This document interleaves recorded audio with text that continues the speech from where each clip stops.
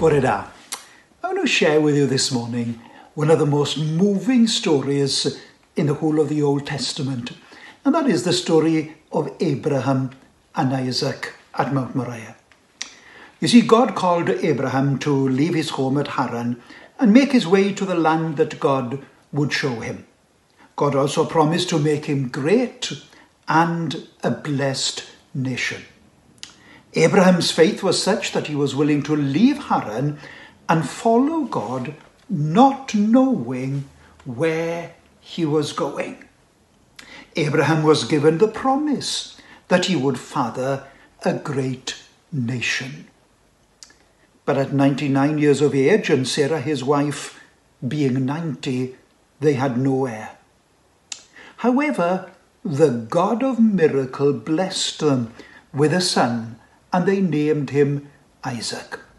Then, when Isaac was a boy, God did something that seemingly at first is terrible and difficult to take in. Listen to what God tells Abraham Take your son, your only son, yes, Isaac, whom you love so much, and go to the land of Moriah. Sacrifice him there as a burnt offering on one of the mountains, which I will point out to, you. Now, this is a real test of Abraham's faith.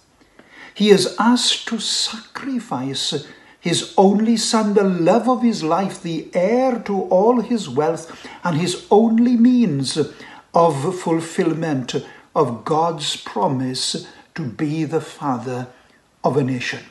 However, Abraham somehow finds the courage to be obedient to God and takes that heartbreaking journey to the mountainous region of Moriah. He takes with him two servants. They cut enough wood for the sacrifice and off they go.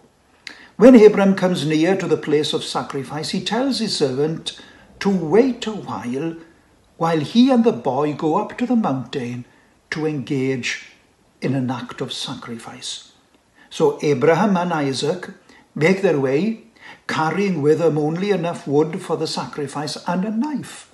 And as they approach the place of sacrifice, the boy asks his father, Father, the fire and the wood are here, but where is the lamb for the burnt offering?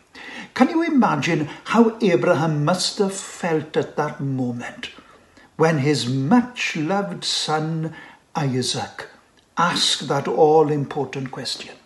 However, Abraham replied, Son, God Himself will provide a lamb for the burnt offering. Abram built an altar and arranged the wood for the sacrifice. He then bound his son Isaac and placed him on the altar on top of the wood. Then he reached out for his hand and took his knife to slay his only son. At this point, God breaks in and speaks to him, saying, do not lay a hand on the boy, he said. Do not do anything to him. Now I know that you fear God, because you have not withheld from me your son, your only son. Abraham looked up, and there in the thicket he saw a ram caught by its horns. He went over, took the ram, and sacrificed it as a burnt offering instead of his son Isaac. Wow, what an amazing story this story is. Abraham called the place Jehovah Jireh, meaning the Lord will provide. However, this is but a foreshadow of what was yet to come when God Himself would provide a lamb as a sacrifice for the sins of the whole world once and for all. And when Jesus came to be baptized of John in the Jordan, when John saw him, he said, Behold the Lamb of God who takes away the sin of the world. You see, the sacrifices of the Old Testament covered sin, but the sacrifice of Christ took away sin. The author of Hebrews says this Day after day, every priest stands and performs his religious duty. Again and again, he offers the same sacrifice which can never take away sin. But when this priest had offered for all time one sacrifice for sins, he sat down at the right hand of God. You see, the priest had to stand because their work never came to an end. But Christ could sit down because once and for all he had offered himself as a sacrifice for your sin and for mine.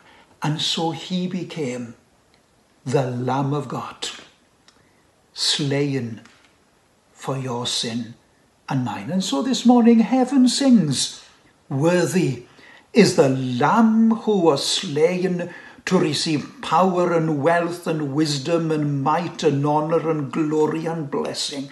To him who sits on the throne and to the Lamb be blessing and honour and glory and might forever and ever. And we say this morning, Amen. Be blessed as you listen to this song. Pob endith, enjoy the day.